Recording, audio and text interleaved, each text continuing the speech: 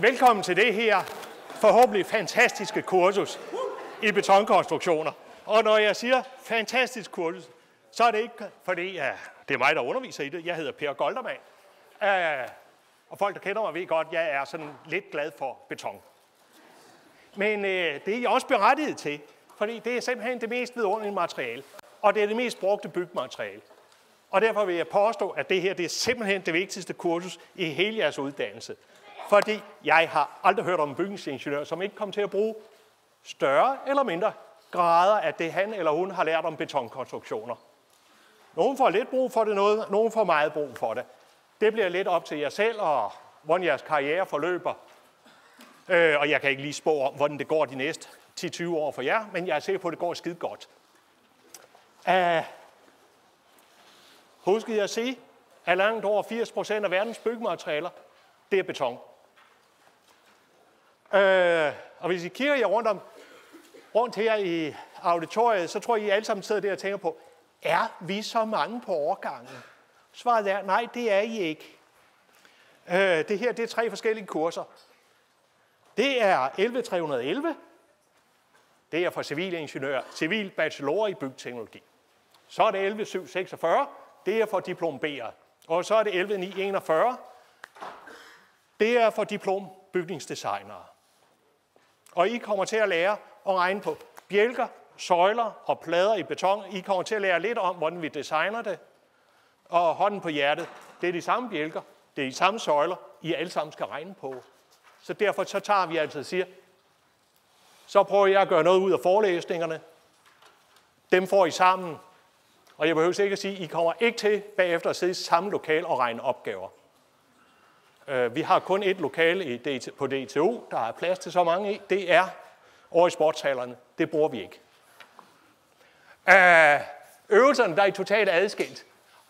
Og I kan se her, jeg har syv hjælpelærer til at hjælpe mig. Nogle af dem har prøvet det før og er skide gode. Nogle af dem er bare skide gode. Øh, og jeg sørger selvfølgelig for at parre det sammen, sådan så at dem med erfaring er i nærheden af dem med mindre erfaring. Og så styrter jeg i øvrigt rundt til opgaveregningen og kommer rundt til alle og får snakket med dem det, og kan snakke med jer. Øh, ja, det er jo diplom B, det hedder konstruktioner i beton, det er 5 point. Det er 41, det hedder konstruktionsudfordring beregningsmodeller, det er også 5 point. Og for civilerne, der hedder det bare betonkonstruktioner. Helt ærligt, det er det samme kursus. Det eneste, der var adskilt eksamensopgaverne, er det nummer, der står på opgaverne. Øh, må vi den slags? Det taler vi ikke så meget om. Vi synes bare, at i stedet for at have tre forskellige mænd til at forberede tre forskellige kurser, for derefter at sende jer alle sammen på det samme videregående betonkursus, så var det måske en god idé at prøve at lære jer nogenlunde det samme. Yep. Så når jeg er færdig med det her, så kan I faktisk godt designe en betonbygning. Jeg vil sige, hvis I er stødt på noget, noget tidligere, som I kan relatere til rigtige konstruktioner, så støder I på det her. Uh, til gengæld, så forventer jeg, at I kan noget. Beklager, at vi skal bruge noget af det, I har lært, eller skulle have lært tidligere. Jeg forventer, at I kan regne momenter, forskydningskræfter og nedbøjninger ud for en elastisk bjælke. Hvis I ikke kan det, så må I til at læse op på det. Øh, første opgave i dag, den hedder B1101. Det er sådan en, der er 10 bjælker med belastninger på, og I skal regne de statisk bestemte ud. De statisk ubestemte kan I bare springe over. Øh, så vil jeg forvente, at I kan regne sådan noget med tværsnitskonstanter, det vil sige tyngdepunkter og inertimomenter. Øhm, eller styrker vi det lidt mere næste gang? Og ja, ja, så skal I kunne regne spændinger ud, og bare roligt, det er stadigvæk det her med plane, tværsnit forbliver plane og så videre. Øhm, det er meget, meget tidligt at tale om eksamen. Vi er fem minutter inde i kurset. Men lad mig alligevel lige sige, at hvis vi lægger en bjælke op, og vi siger, nu sætter vi den her belastning på, vi har det her tværsnit, og mit spørgsmål så til jer er, kan I vise, at den kan holde? så er det umuligt at svare på det spørgsmål, hvis ikke man kan regne ud, hvad bøjende moment er her. Det gælder for bjælker, det gælder for søjler, det gælder også for plader. Så derfor typisk, det her det kommer til at dække over 20-25 procent til eksamen. Øhm, hvad forventer I ellers, I kan? Ja, I må godt kunne integrere lidt. Øh, jeg skal nok vise jer, hvordan vi gør det sådan på en lidt nemmere måde end normalt. Øh, så regner jeg med, at I en eller anden grad, at I har en lommeregner, som I kan finde ud af at bruge sådan nogenlunde. Jeg mener, der har vel aldrig været et menneske, der har fundet ud af, hvad alt, alle faciliteterne i lommeregneren kunne klare, medmindre det var en meget simpel en. Øh, jeg vil sådan set også sige, at hvis I har Excel eller andet regneark på jeres PC, så er det også en god idé at bruge den slags. MATLAB, MATCAD, den slags er også en hjælp. Øh, jeg vil bruge Excel'en her i, når vi kommer over til søjlerne, fordi der er nogle tilfælde, hvor vi har et valg. Enten så stiller vi noget simpelt op og itererer i det. Excel er skide god til det. Eller også stiller vi nogle uhyggelige, vanskelige ligninger op, øh, hvilket man selvfølgelig gjorde for 30 år siden, da man ikke havde PC'er. Man kan stadigvæk gøre, gøre det i dag, men der er, det er ikke et krav.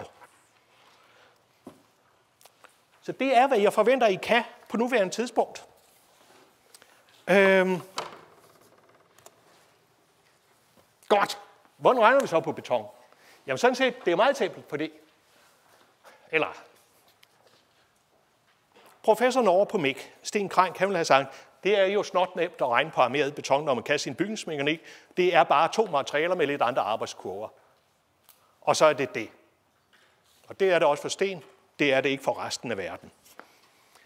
Uh, men vi, går, vi kigger på arbejdskurven. Vi finder ud af, hvordan kan vi håndtere det. Vi tager højde for, at sådan noget som beton det kan min tanden også revne. Uh, vi er også nødt til lige i starten at tage hensyn til, at betongen, betongen er altså et levende materiale. Det er ikke ligesom, hvis vi skal en stålstang. Den har en styrke nu, og den har den samme styrke om 100 år. Støver noget beton ud her og nu, så har det ingen styrke. Om 8 timer har det en lille smule styrke, om 8 dage, så har den en pæn styrke, og om 8 år har den en endnu højere styrke. Så betongen er altså sådan lidt mere levende materiale. Det andet er, at det kan svinde. Og hvis det prøver at svinde, fordi det tørrer ud og trækker sig sammen, jamen hvis ikke det kan få lov til det, så revner det. Beton tørrer typisk ud og svinder og revner. Det gør andre materialer ikke så meget. Nå, hvordan kommer vi så til at regne på det? Jo, der er nogle forskellige muligheder. Det første er, vi har faktisk en helt bunke teoretisk baserede formler. Det er godt, hvis formlerne er teoretisk baseret, fordi det gør den simple, det gør dem enkle, det gør, at man har et håb om, at det kan bruges til det hele. Så er der bare nogle steder, hvor det bliver svært. Øh, og det bliver svært, fordi for eksempel, lad os tage sådan noget som arbejdskurerne. Det I har lært at regne med,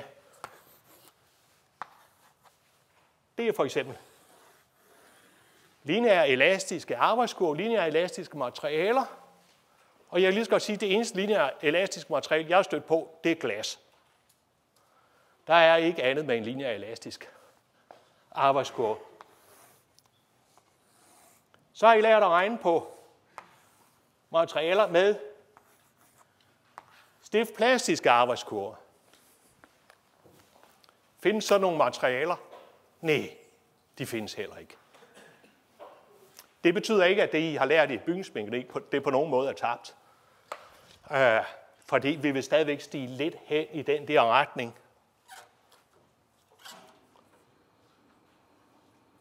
Men hvis vi kigger på, hvordan arbejdskurvene ser ud,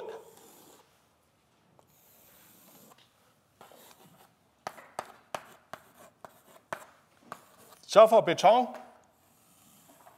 så har vi en krom arbejdskurve, og i træk, det er tryk, i træk, der har vi ikke ret stor styrke. Så går det i stykker. Armeringsstål. Vi putter jo ofte stål i. Jamen, det kan jo have en arbejdskurve, der ser for eksempel sådan ud. kan vi med bygningsmekanik regne på noget, der har sådan to arbejdskurver? Svaret er, selvfølgelig kan vi det. Vi er jo bygningsingeniører. Vi kan regne på hvad som helst. Det rigtige spørgsmål det er, vil vi regne på noget med de der arbejdskurver? Og det korrekte svar er, at vi er bygningsingeniører. Vi kunne godt tænke os at skyde genvej et eller andet sted, hvis ikke det koster alt for meget på bagevnen. Og vi vil godt gøre det på en sikker, metode, og en sikker måde. Og det gør vi. Så vi kommer over i at idealisere de der materialer.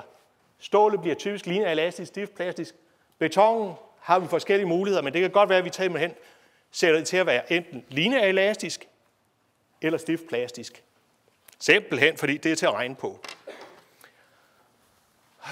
Så er der engang en del steder, hvor vi så vil sige, ja, med de der forenklinger, der kan vi ikke helt regne på det med bare teoretisk baseret. Hvad gør vi så? Vi kunne gå over i den helt ende, ende af det og bruge helt empiriske formler. Ved I, hvad empiriske formler er? Nå, jo, der bliver lidt nækket, og der bliver lidt rystet. Empiriske formler, det er sådan set, når man ikke har nogen anelse om, hvordan tingene hænger sammen. Til gengæld så om samlet 10.000 testresultater sammen, og så finder man ud af, at for eksempel bæreevnen kan vi regne ud, som til synligheden 1,173 gange x plus 27 y opløftet til potens 0,74 plus 13. Så passer formlen af en eller anden obskur grund med resultaterne. Og der er nogen, der sidder og ser lidt skeptisk ud, og jeg kan kun sige tak, tak. Det er nemlig den helt rigtige forståelse af det. Der er problemer med 100% empiriske formler. Har man data imellem her og her, så kan man dokumentere, at den der mystiske formel, den der af en eller anden grund passer inden for det her område. Men hvad nu, hvis man vil gå uden for området? Hvad nu, hvis man vil herud? Eller man vil herud? Så har man ingen garanti for, at det passer. Så snævert område, hvor det duer i, masser af forsøg til at dokumentere det, det lyder som en dårlig handel. Det er det også. Derfor bruger vi det, vi kalder halvempiriske formler. Det vil sige, at vi stiller egentlig noget op, der er teoretisk baseret. Så sammenligner vi med forsøgene, og så siger vi, ja, vi kan godt se, der foregår et eller andet sært her. I vil opleve det med nogle trykstringer i beton, at der er sådan et eller andet med, hov, hvad er det, der foregår nede i bunden af den trykstringer? Det er noget sært noget. Kan vi regne på det? Jeg har fået at vide af phd studerende at sådan en 3-4-5 phd studier sammen, så kan man godt regne på det. Det vi andre gør er, vi tager de der formler, vi sammenligner med forsøgene, og så finder ud af, hvis vi lige ganger det og der med 0,47, så passer det. Så vi sætter bare én faktor på et sted. Vi vil kalde det korrektionsfaktor. I det her kurs, i beton, kalder vi det en effektivitetsfaktor, for sådan at give det et pænt navn.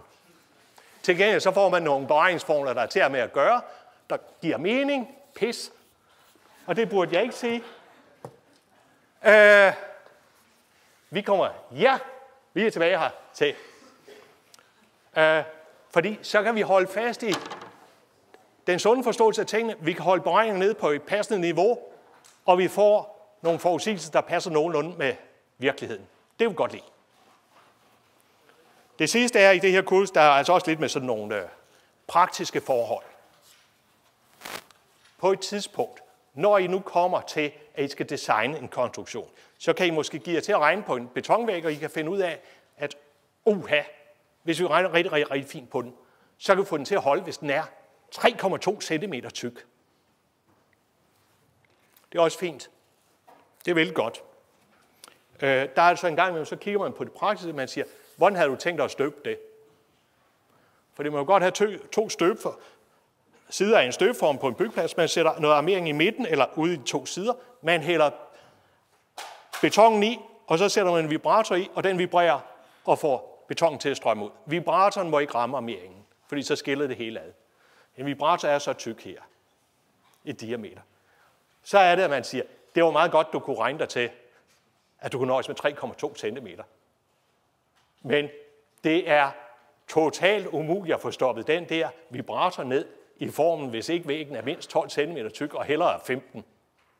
Og derfor er der en gang, at vi ikke gider at forfølge de fine beregninger. Fordi vi vil godt regne fint på det, men kun hvis det er nødvendigt, og kun hvis vi kan have en gevinst af det. Ja, så det er sådan, vi går frem. Lærebogen har jeg lagt her et eller andet sted.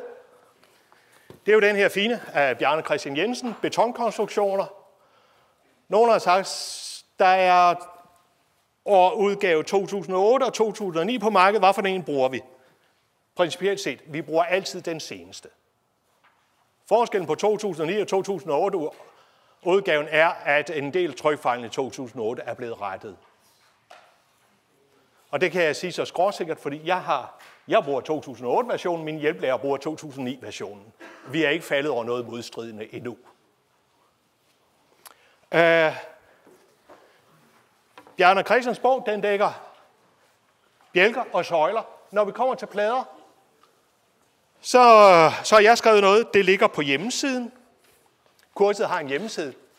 Uh, der kan I downloade det og printe det fra. I skal først bruge det om to måneder. Samme hjemmeside, der kan I downloade to pdf-filer. En, der hedder opgaver, og en, der hedder løsninger. Der ligger de alle sammen i. Øh, selvfølgelig fortalte min øh, hjælpelærer mig i går morges, at der var øh, et par fejl i løsningen til B1102, som I skulle regne til sidst i dag, men det er rettet i det eksemplar, der lå derude i mandag. Øhm, supplerende litteratur. Og ja, teknisk stobi. Teknisk er på ingen måde noget som helst med pensum. Det er bare, nu har vi ligesom nået dertil i vores ingeniøruddannelse. Vi kan altså godt bruge teknisk. Man kan slå rigtig meget godt op i det. For eksempel momentkurver, hvis man har et eller andet med. skal nok lade være med at rappe, rappe dig en. Selvom jeg, du bemærker, at jeg har ikke en af de der små forkølede pegepinde. Jeg har en ordentlig kæp, så jeg kan ramme alle på de første tre rækker. Og jeg plejer at sige, at hvis det sker, så er det rent uheld. Men altså, man kan jo slå op i teknisk og sige, hov, hvis jeg har en belastning med last der og last der, hvad er momentet så? Ja, du kan slå op, hvad er momentkoden, hvis det er, lasten ligger der. Du kan slå op, hvad er momentkoden, hvis lasten ligger der, så kan du lægge de to løsninger sammen. Det kaldes superpositionsprincippet. Der er meget godt i tingens B. Så har I ikke købt den endnu, så køb den, og det behøves ikke at være sidste version. 2009, 10, 11, det er godt nok. Jeg burde selvfølgelig sige, køb den seneste. Jeg er en af forfatterne. Jeg tror, jeg, jeg, tror, jeg får 50 øre hver gang, der er en, der køber et, et eksemplar, men på den anden side, det kunne ikke falde mig ind og snyde studerende, og slet ikke for 50 øre stykket. Hjemmesiden. Øh, I er vant til at blive lagt meget på campusnet. Jeg har altså valgt at lave en øh, speciel hjemmeside til, til kurset, og det skyldes, at det giver mig noget frihed i, hvad jeg kan lægge der, som jeg ikke har inden for Campus.net. Den vigtigste, det er den der kursplan og pensum, og der kan man gå ned igennem, man kan se, hvad er der af pensum til i dag. Vi har nogle overheads her. Hvis I klikker på dem, så kommer der pdf-versioner frem af alle mine overheads. Generelt, alt det, I skal bruge til sådan en tirsdag, det bliver lagt ud senest torsdagen før. Så mangler I noget torsdag eftermiddag. Lad være med at plage mig med det. Fredag, lørdag, søndag, mandag. Mangler I noget? Er der noget, I ikke kan finde, som I skal bruge? Send mig en e-mail. Øh, der er en vis risiko for, at jeg måske har glemt at lægge det ud. Og så er I altså ikke den eneste, der manglede. Så er der 200 andre, der også godt øh, manglede, som burde have set det. Men øh, det har de ikke. Øhm, noget andet, der ligger herude, jeg vil lave alle de her PowerPoint-præsentationer, i hvert fald dem til de første 8-9 dage, 8-9 gange, der er der indtalt nogenlunde, hvad jeg vil sige. Det er lagt ud som video, og det ligger på YouTube. I kan se det forud. Hvis I har set to kameraer deroppe, så er det fordi, jeg er entrepreneret med Learning Lab. Vi optager samtlige, samtlige forelæsninger på videoer. De vil dukke op senere på dagen eller næste dag. Sådan hvis I nu ikke er her, eller I skal repetere. Jeg anbefaler stadigvæk, at man har læst pensum, inden man kommer her, men har jeg altså muligheder for at finde det senere. De tavleeksempler, jeg laver, de ligger også som håndskrevne pdf-filer her med tale på. Øhm, det er en af glæderne ved, at jeg har, jeg har de tre hold sammen. Så har jeg alibi for at prøve den slags ting af. Jeg gætter på, at noget af det, vi synes, det var helt fedt? Og noget af det vi finder ud af, det synes I egentlig personligt, det var en fis i en hornløgt. Uh, øh, ved, ved kursets afslutning, så vil jeg prøve at finde ud af, hvorfor noget af det, I synes godt om. Fordi det er så noget, jeg vil sige til mine kollegaer, at det kunne godt være, at det ville falde på et tørt sted. Omvendt, hvis der er et eller andet, jeg har brugt tid og kræfter på, og I alle sammen synes, det her det var sgu lidt spild af tid, jamen så er det ikke det, jeg vil punkte mine kollegaer med. Øh, jeg er også studienævnsformand på Byg forresten. Så jeg er en af dem der, der siger til dem, nu skal I gøre det bedre. Eller hvad er det her for noget? De studerende siger, der er ikke noget at lave på kurset. Hvad har I tænkt jer? Jeg vil sige, der er ingen sammenhæng mellem forelæsningerne. Jamen, hvad har I tænkt jer? Gør noget ved det. De synes, jeg kan være ret irriterende. Øhm, undervisning, jamen det er her tirsdag eftermiddag. Vi starter altid med forelæsning hernede kl. 13. I dag bliver den halv tre eller lidt over halv tre, før jeg er færdig. Det er også den eneste gang. Alle de andre gange er vi færdige efter halvanden til to timer. Sagen er, at der kommer, vi følger altid op med øvelser, og det er med vejledning. Øvelser med, altså lokalerne her, de er der sådan set fra klokken 1 af. Øh, uh, hjælpelæreren dukker op klokken 3. Og vi vil godt have, at diplomberer på 11.746, I går i 118, 225 237, det er to rum, øverst op. 119, det er rummet i, på første sal. Grunden til, at vi pakker i over, det er, fordi typisk har diplomberer nogle ting, de er skide gode til, og nogle ting, de ikke er så gode til. De andre to hold, de har nogle andre ting, de er skide gode til, og nogle andre ting, de ikke er så gode til. Det gør det nemmere for os at vejlede. Det andet er, at herover der kommer Daniel, Rikke og Rikke. De er alle tre øh, diplom B-ingeniører, og de to er lige blevet færdige. Jeg kan ikke huske med Daniel, om ikke også han lige er blevet færdig og er på overbygning. Men det er folk, der har samme baggrund som de øvrige på det her, og det betyder, at de kender jeres lærebøger. Civilingeniøren, jamen de bliver her i rum 17 og 19. Og det er Jens og Mertan, der vejleder jer. Også begge to civil bachelor. Og så over i 117, jamen der har vi diplom bygningsdesign. Og I får Søren og Lasse til at hjælpe jer. De er min sand diplom bygningsdesignere. Og øh, alle syv hjælpelærer, de dukker op her ved trætiden, så kan I jo se, hvad de er for nogen. Øh, de fleste af dem har prøvet det før, og resten har... Øh, ja, altså, de virker som fornuftige folk, der er villige til at forklare ting. Øhm. Yep. Det var lidt om, hvad der foregår. Arbejdsindsats. Ja. Øhm. Ja.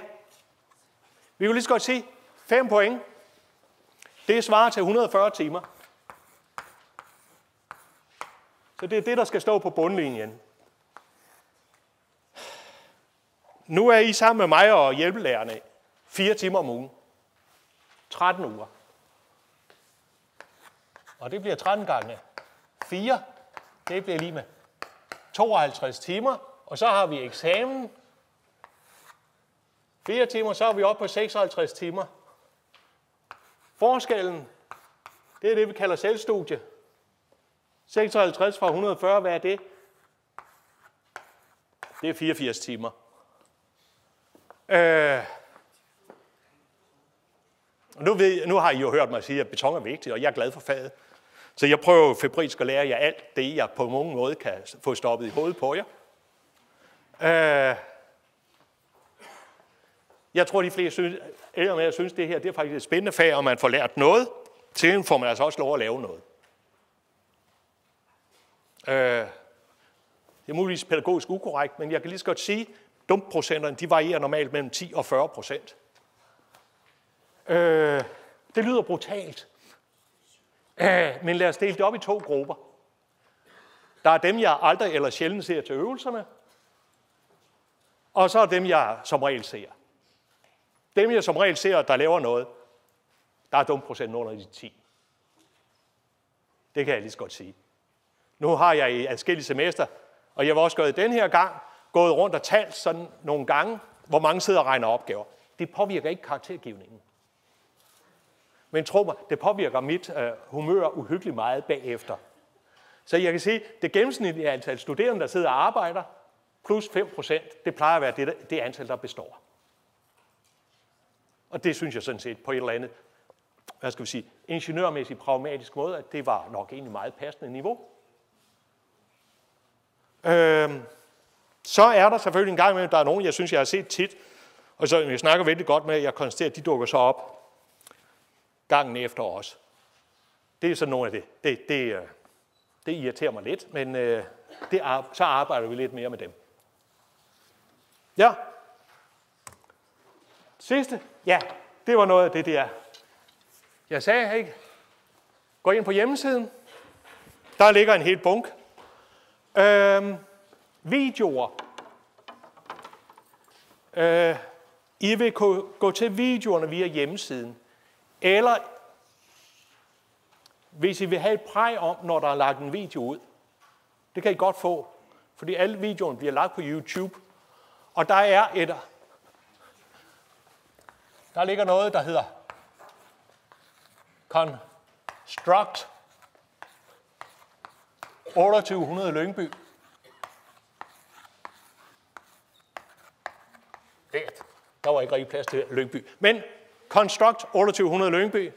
Gå derind, se hvad der ligger. Eller sæt jer på som, som abonnenter, fordi så kommer der en mail, når der er lagt en ny video ud. For eksempel optagelsen af forelæsningen. Eller hvis vi kommer over i eksamensperioden, så kan det jo være, at jeg konstaterer, at har jeg generelt et problem. Øh, så kan det godt være, at der lige ryger en ekstra vejledningsvideo ud. Øh, sæt jer på som abonnenter, og så har I en automatisk opdatering. Øh, modsat de fleste andre kurser på D2, så er alt materialet i år lagt frem i fuld offentlighed. Det er for at gøre det lidt nemmere for jer. Det er for at trække på de fremragende faciliteter, som man kan finde ude på nettet. Altså YouTube kender I jo udmærket. Det fungerer som en drøm. Helt ærligt, det kan Campusnet aldrig hamle op med. Udover de piver, hvis jeg lægger videoer ud, der, fylder mere end sådan 100 megabyte. Det, øh, det var ikke altid der, jeg var nede i størrelsen. Ja. Lidt spørgsmål. Altså, selvfølgelig, jeg burde selvfølgelig have startet med at sige, I stiller bare spørgsmål, når I har lyst. I kan komme ned i pausen og stille spørgsmål. Eller også spørger I ved opgaveregningen. Hvad I nu føler jer mest bekvem ved. Øh, ja. Godt. Og vi kører et lidt mere snævert program i dag end de andre gange.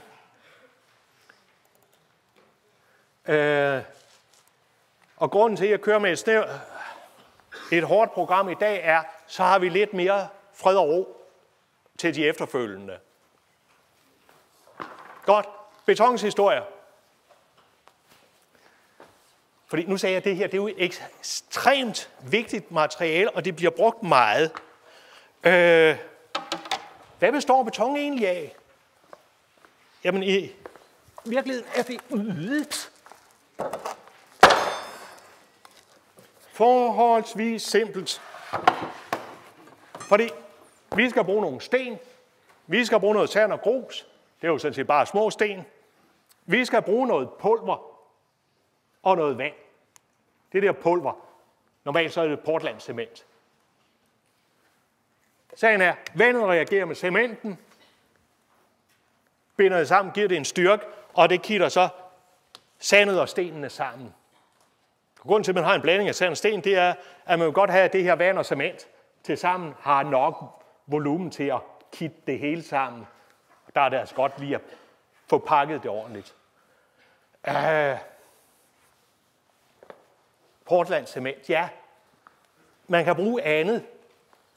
Uh, og jeg vil være ærlig og sige, jeg ved ikke, hvem der fandt ud af, at man kunne finde sådan en pulver, der kunne reagere med vand.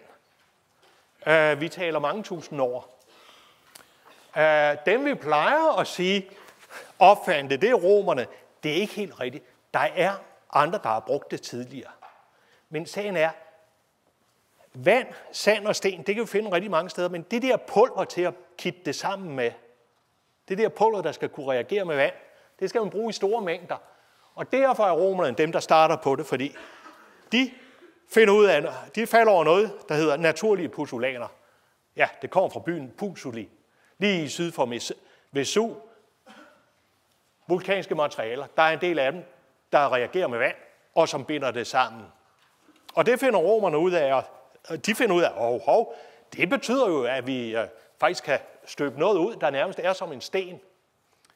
Uh, den her lidt ruinagtige ting er fra korttemplet i Rom, opført 121 år før Kristi fødsel. Og øh, ja, man kan sige det sådan, står det pænt og godt der endnu? Nej, det er noget nedbrudt. På den anden side så har det stået i 2000 år. Så det er, det er da sådan set meget pænt. Jeg kan sige, at Storebæltsbroen, den blev designet, siden den skulle holde 100 år, og garantiperioden var 5 år. Jeg kan sige, jeg har også lavet øh, levetidsdesign til Øresundsbroen. Og folk sagde sådan lidt, er I ikke nervøse over det? Nej, garantiperioden er fem år, fra vi blev færdige med at designe det. De var sgu da ikke engang færdige med at opføre den bro, før garantien på designet var udløbet. Så, så, så folk kiggede lidt ondt på mig, da jeg sagde, at de kunne også godt have fået 300 år. Det havde kostet dem lidt ekstra. Men garantiperioden var stadigvæk blevet fem år. Men de går altså i gang med det der. Og øh, de bliver ret hurtigt bidt af det. Og de finder ud for, Søren, det er jo fantastisk godt. Vi kan bygge rigtig meget. Nu skal det sige sådan, jeg havde indtryk af, at det der er sådan en romersk bro for siger 100 år efter Kristi fødsel, altså 1900 år gammel, stadigvæk står den pænt, fuld funktionsdygtig. Vi har nogle stenbuer her, der bærer meget. Vi har en facadebeklædning her med sten. Vi har en kant med sten. Det eneste, man ikke kan se, det er betongen indeni. Romerne brød sig ikke om beton. De synes ikke, det så pænt ud. De ville hellere have natursten. De ville have beklædt med marmor, granit, travertin. Uh, det synes jeg jo som betonmand, det er synd. Men omvendt, så må vi indrømme, at så holder det da vældig godt, fordi så er det pakket inde. Kender vi den der indstilling fra andre steder? Ja, det gør vi jo godt. I Færdsjø i et sted, hvor man kender det der. 99 procent af alle de bærende konventioner på DTU, de er lavet i beton. Det eneste byggemateriale, man stort set ikke ser på, beton, på DTU, det er betonen. Jo, 101, der kan vi se den. Alle andre steder, der er beklædt med gule mursten. Hvorfor er det det? Fordi arkitekten synes, det så pænt ud. Til gengæld må jeg så indrømme, at det er meget, meget, meget svært at finde noget som helst nedbrudt beton på DTU. Uh, øh, men vi kan altså efterhånden godt lave beton, der kan holde og kan stå ude. Øh, grunden til, at vi kan lide at bygge i beton, er det samme grund i og sig, som romerne oplevede, nemlig at for Søren, vi kan få stillet noget op, vi kan få bygget noget i utroligt hurtigt tempo og enorme mængder. Det her det er Colosseum. Det var ikke arbejdskraft, de manglede.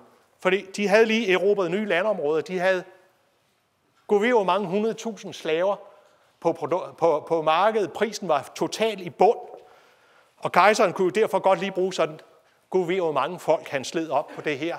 Men konstruktionerne, de bærende konstruktioner, er lavet i beton. De havde aldrig fået det opført inden for ham og hans søns levetid, hvis de skulle have lavet det i sten. Det er stadigvæk beklædt med marmor og travertin på ydersiden, fordi fint skulle det jo være. De bliver bedre og bedre til det faktisk. Og øh, ja, ja, jeg beklager, jeg havde skrevet forkert. Jeg var kommet til at skrive Parthenon, det er jo et græsk tempel, det er Pantheon. Det er noget af det mest sublime beton, romerne overhovedet har lavet. Fordi de har lavet, de har lavet en stor kuppel. Og man kan selvfølgelig godt forestille sig, det der med beton, det vejer en del. Og det betyder, at når man har sådan en kuppel, jo længere ned vi når i kuppelen, jo større tryk er der. Fordi den skal simpelthen kunne bære sig selv. Jamen, hvad gør man så, hvis man er smart? Jamen heroppe, hvor der ikke er ret meget tryk på, der bruger man så en letvægtsbeton. Man skifter nogle af stenene ud med noget, nogle meget porøse tilslag. Det gør vi også i dag. I dag vil vi bruge leganødder. Dengang der brugte de noget let vulkansk tilslag. Det vil sige, Heroppe i toppen, der vejer betonen ikke ret meget. Den har heller ikke ret stor styrke.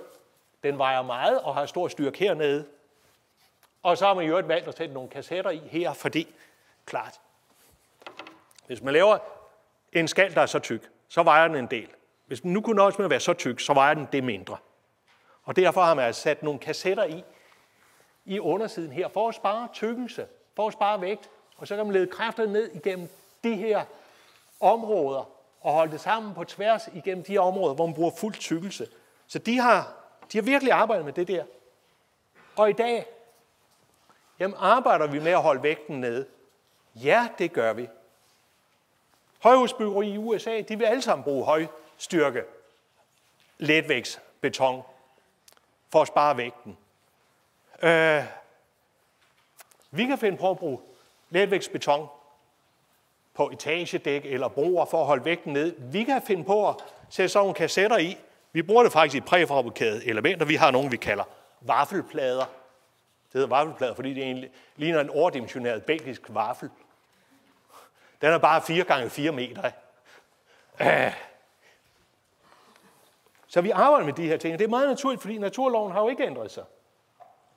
Altså en tons vejer, hvad en tons altid har gjort.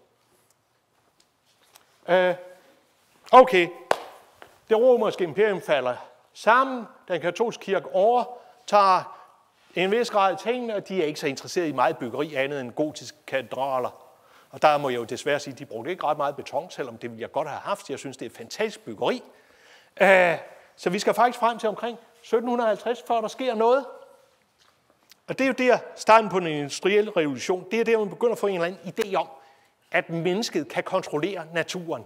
Vi kan løse tingene. Og øh, englænderne, de havde altså et problem. Fordi imellem øh, England og Irland, sådan lidt op mod nord, der ligger der et skær. Og øh, det skær, det ligger et sted, hvor rigtig, rigtig, rigtig meget skibstrafik passerer. Det er også, hvad det kan være. Men det er altså også et sted, hvor de der efterårs- og vinterstorm ude fra Nordlanden, de rammer lige ind på skæret. Og det betød jo, at hver efterår, så forsvandt fyrtårnet. For at sige det, som det var. Og så havde man i et halvt års tid uden noget fyrtårn på skæret, øh, indtil man, det blev forår, og man kunne sætte nyt op. Og øh, det der vinterhalvår, der røg jo altså en del skib. Fordi det kan godt være, at øen ikke ragede ret langt op, men øh, man kunne stadigvæk sejle på. Og så finder man ud, nå, jamen så må vi bygge et eller andet der. Og det er klart, bygger man en murværk, der er to ting, der bestemmer styrken. Det ene er stenene, så de vil have de bedste granitsten fra Portland. Og det andet, der bestemmer noget, det er mørtelen. Og lave sådan en mørtel der med sand og grus og lidt brændt kalk og lidt vand, det var også fint nok, men for det første, brændt kalk og den slags, det tager altså, det tager altså op til et par år, før det er ordentligt hærdet. Og det gik jo ikke. Så de måtte udvikle et eller andet nyt, nyt pulver, nyt bindemiddel. Og der lykkedes det altså en fyr at lave noget, hvor han kunne sige, det betød. Okay, det betød, at mørken faktisk blev lige så stærk som de stærkeste sten fra Portland. Og der bliver folk sådan lidt nysgerrige. 1756, og man bliver mere nysgerrig, fordi hvad er det, han har brugt til at lave det med? Det er hovedsageligt kalk og ler, som man brænder sammen Kalk og ler har man rigtig, rigtig mange steder i verden. Og derfor så, ja okay, der går stadigvæk 70 år, men så begynder man at indsende øh, patentansøgninger for, hvad man nu kalder Portland cement. Og så er det, man kan lave for eksempel. Ligesom man kunne lave bjælker af granit, så kan man måske lave en bjælke af beton. Og så ved I godt, hvis vi lægger sådan en bjælke op, vi sætter last på, så kommer der træk i oversiden, der kommer tryk i oversiden, og hvad var det, jeg fortalte jer om? Betongen her, høj trykstyrke, lav trækstyrke. Det, der sker, er, at de der uarmerede bjælker, de knækker jo for et godt ord. Så er der nogen, der finder ud af, ja, men når de nu knækker dernede i undersiden, i undersiden, hvor vi får træk i, så kunne vi måske lægge noget armeringsjern deri, lægge noget stål i. Så 30 år efter man indsætter den første patent, så finder man ud af, ah, vi kan også prøve at patentere det der brug af stålet. Og så mellem 1850 og 1900, så eksploderer det simpelthen, fordi det er simpelthen den perfekte kombination. Nu er vi klar til at lave konstruktioner. Og rigtig meget af det teori, som I lærer, det stammer faktisk også tilbage derfra. Ja, vi er blevet lidt mere præcis. Vi har fået computer. Vi har fået bedre materialer. Vi har fået andre arbejdsmetoder. Jeg mener, blandmaskinen er for eksempel opfundet. Øh, herhjemme, ja, noget af det første, det er faktisk øh, nogle af søfororderne. Det første, det er søforordet Prøvestenen 1863. Jeg ved ikke, hvor meget I kan huske fra historien, men øh, vi havde noget ballade med den engelske flåde i 1801 eller andet. Floden forsvandt, øh, København blev brændt, vi mistede Norge senere. Det var folk ikke særlig glade for. Og øh, man havde så fundet ud af, at, det var, at have sådan nogle stenforter der, det var altså rigtig godt som forter. Øh, de var rigtig godt i stand til at kæmpe med sådan nogle træskib. Øh, nu har vi ikke så mange sten herhjemme, men altså, vi kunne passende støbe det i beton. Det gjorde man. Senere er man så gået over til at bruge noget med armering i, og jeg tror, det er, det er den første danske betonbro. 1894. Pladen er kun 8 cm tyk. Jeg mener, nu i dag, så vil vi nok have lavet den 30. Simpelthen fordi det er nok billigere at lave, og det er nemmere at lave. Men øh, dengang var arbejdslønnen billig, og materialerne dyre, så de nøjes altså med 8 cm her. Jeg må sige sådan, den blev renoveret i 1990'erne, og øh, jeg er ked af at sige, at de fjernede betonen og støbte noget nyt. Øhm. Men det er der, man går i gang. Og så er der jo sådan set egentlig fred og ro. Øh, vi har første verdenskrig, vi har anden verdenskrig, det hele går i stå, og vi kommer faktisk frem til omkring 1950'erne, så begynder der at komme liv igen. Og man finder ud af, at nu skal vi i gang med at bygge. Vi har ikke bygget noget de sidste. Ja, vi fik ikke bygget noget i starten af 50'erne og slutningen af 40'erne. Vi havde ikke råd. Starten af 40'erne, jamen det var 2. verdenskrig. 30'erne, det var depressionen. Ikke? Så det er jo ligesom, nu skal vi i gang. Er der nogen af jer, der har prøvet at være ude på en byggeplads? Nogen har. Fint. Hvis vi nu går ud der i november måned, så er det koldt, der er klamt, der er dårlig belysning, det er muligvis slud, og vi har et hav af folk, der skal til inden for det samme. Det er besværligt. Den eneste måde, vi kan få det til at virke på, det er ved en knivskarp planlægning og brug af trænet arbejdskraft, håndværkere. Så dårlige adgangsforhold, dårlige pladsforhold, et stort behov for trænede folk. Ah, kunne vi ikke gøre noget andet? Jo, vi går til at lave præfab. Vi kunne vælge at støbe de her betonstykker, de her elementer på en eller anden fabrik, der lå et sted, hvor vi havde plads. Et sted, hvor vi kunne have lys, og hvor vi kunne have tag over. Og der er sandheden, at det tager ikke tre år at uddanne en til at kunne lave et rimeligt stykke arbejde. Det tager tre uger. Og derfor går man i gang med præfab.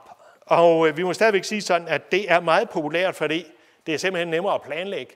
Det er nemmere at styre. Man kan lave forskelligt. Det der, det er nogle helvægselementer, lavet af letvægtsbeton. Man kan lave sådan noget som det der. Det er porbeton eller gasbeton. Øh, det har ikke en ret høj styrke, men øh, det er varmeisolerende. Så en etage eller to, det er jo meget populært til. Vi kan lave noget, der er mere elegant som Usons hus der, eller vi kan lave noget som en brobyggeri. Storbæltsbroen, Vestbroen, det er lavet med præfabrikerede betonelementer. Hver brofag er et, et element. Og de er blevet lagt op. Det her er ikke fra Storbæltsbroen, men altså, det kunne der have været. Man kommer simpelthen med en kæmpe kran, og der lægger man lige sit element op på der, så ligger der støtter, og så på et eller andet tidspunkt, så støver mellemrummet ud imellem dem. Hvor store kan sådan nogle elementer være? Svaret er, ja, jeg aner virkelig ikke, om der er nogen begrænsning på det. Man skal bare sådan være i stand til at flytte det. Storbælt, der var de 100 meter lange. Øh, det var delvis også et spørgsmål om, hvor lang spænd er økonomisk. Altså, havde det været mere økonomisk med 200 meter spænd i stedet for 100 meter, jamen, så havde man muligvis prøvet det. Men øh, flødekranen skulle have været stor. Den, der blev brugt, det var vist verdens største. Så øh, det var ligesom om, at skulle man ud over det størrelse spænd. Det kunne man godt, men øh, så skulle man altså også bygge en ny kran. Det var jeg ikke så meget for. Ja. Nu ser jeg masser af det der, har vi kendt i evigheder. Ja, og I har set over i cylinderen der, hvor simpelt det kan laves. Hvad sker der så med sådan et materiale, der er så populært? Og som man har så meget brug for? Ja, der sker selvfølgelig det, at der udvikles flere og flere krav. Man stiller større og større krav. Øh, man vil godt have betonen meget stærk, man vil godt have den meget tæt, fordi så kan den bedre beskytte øh, armeringen mod, at vand og salt trænger ind. Vand og salt og armering, det er ligesom uh, tøsalt og en gammel bil. En meget dårlig blanding. Det giver os til at ruste. Det her, det er faktisk den aktuelle, det aktuelle blandingsforhold fra Storbæltsbetonen. To typer sten, to typer sand, den der mængde cement. Så har man valgt at bruge et par pusulaner, nemlig flyveaske, som oprindeligt bare var et spildprodukt fra et kulfyret kraftværk. Nu har vi så fundet ud af, at det er faktisk udmærket. Vi kan erstatte 1 kilo cement med 2 kilo flyveaske og få den samme styrke. Vi har et andet spildprodukt her fra aluminiumsproduktionen, mikrosilica. Det er endnu bedre.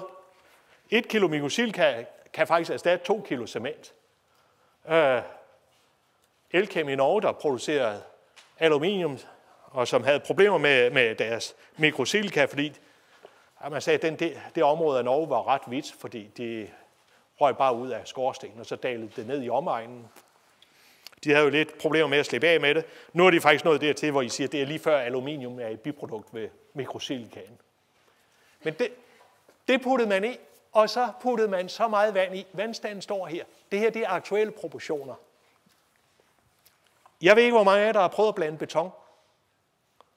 Hvis I har, eller hvis I bare har antydning af sund fornuft, så kan I godt se, det der, det er altså ikke ret meget vand til at blande sammen med alle de der ting.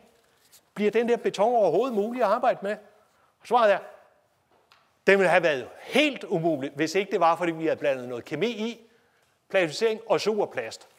Det er noget, der får det til at flyde ud. Og så har vi lidt luftindblanding i her, fordi vi vil godt have sådan en passende mængde små luftbobler i betonen for at gøre den frostmodstandsdygtig. Så i stedet for den der simple sag med en 3-4 komponenter, så er vi oppe på her, hvad er der, 11 komponenter. Øhm, entreprenøren var heller ikke glad for det. Øh, og der var nok puttet lovligt lidt vand i recepten. Tror jeg, det gav en... Øh, lad os bare sige det sådan, vi blev opmærksom på en ny nedbrydningsmekanisme.